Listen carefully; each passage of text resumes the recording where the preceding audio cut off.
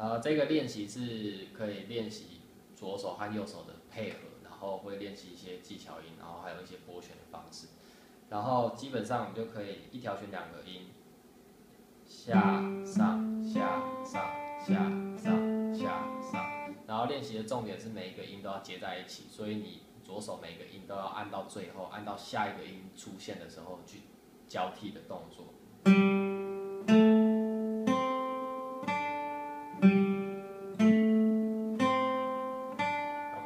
交替不只是在单一条弦，是甚至连换弦的时候，有没有那个声音都要接过去，甚至比如说在下面那一条弦，然后再回来，全部的声音都要接在一起。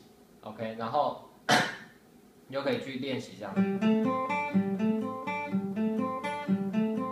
OK，然后练习的重点是刚开始不能快，绝对要很慢，因为你才会知道说左手的运作方式是怎么样，然后用正确的动作慢慢的加速，你才会在快的时候有正确的动作。如果你一开始就很赶的话，那你就会可能会练到错误的动作，然后又弹快，那就是错的啦。OK，那练干嘛？对不对？所以就是要注意，刚开始一定要慢慢弹，然后把动作做对，然后开节拍器，maybe 可以开节拍器，然后慢慢加速这样。然后另外一个动作是左右协调的练习，就是你可以把它变成勾音或垂音。所以我现在先用垂音好了。OK，它一样会遇到，就是每一个音你要让它做延续的动作，然后要让它连接到下一个音。所以左手不能轻易的放掉，然后甚至连换弦的时候也是一样，换下一个音，上一个音才能放掉。OK，要让甚至连换弦的时候，它那个音都是接在一起的。OK 吗？我们差别唯一有差别，其实就只有右手变成弹一下，然后一条弦弹一下这样。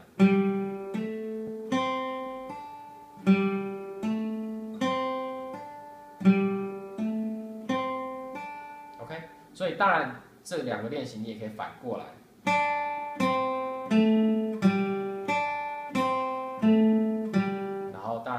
变成勾音。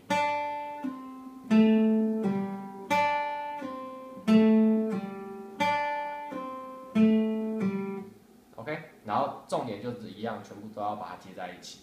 OK，然后最后你就可以把它做综合的练习。然后综合的练习会稍微有趣一点，这以前我也常这样做，就是我会去找一个东西去练习，然后去穿插我要左手去锤音勾音，还是要用右手去拨弦。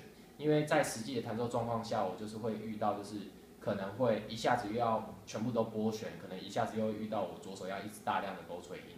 所以它就会变成一个状况，是我不一定会什么时候拨弦，我不一定会什么时候用左手勾垂音。所以重点是你要训练你的左右手，随时你想要勾垂音，随时你想要拨弦的时候，左右手就有办法互相配合，OK 吗？所以刚开始练习，你可以先姿势化一点，就比如说四拍四拍，然后呃拨弦，然后四拍勾锤音之类的，然后就同一个速度，然后不要让它断掉。所以也许可以这样子，像我比如说都是二哎三哎四哎，然后换锤音。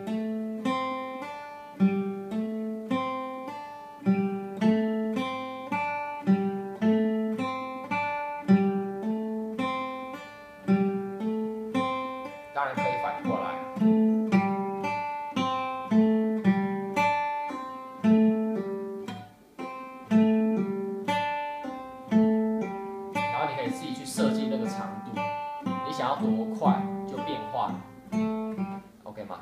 可以理解。对，然后当然你会发现这一个弹奏的状况下，就是一条弦两个音，当然你也可以设计三个音、四个音，或者是你看你怎么设计这个练习这样子。然后像比如说其他的应用，就是像比如说我可以把这样一条弦两个音，有一种音阶叫做五声音阶，它在吉他上面刚好一条弦，每一个把位也是一条弦两个音。所以我同样的东西，我可以用五声音阶下去练，就会。